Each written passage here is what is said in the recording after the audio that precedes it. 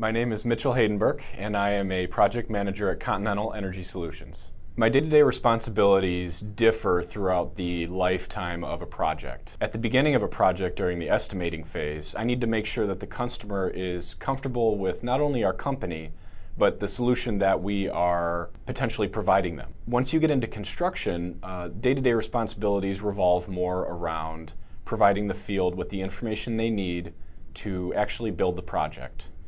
Simultaneously, though, you need to make sure that the customer is also taken care of, and if they have any questions throughout the project, that their questions are answered correctly and promptly. I think the thing I am most proud of working for Continental Energy Solutions is every project that I bring to fruition is having a small impact on the health and the well being of our world. We all live on the same planet, and it's important to make sure that we each do our part to make sure that our planet is taken care of. I'm Mitchell Heydenberk, and let's grow solar.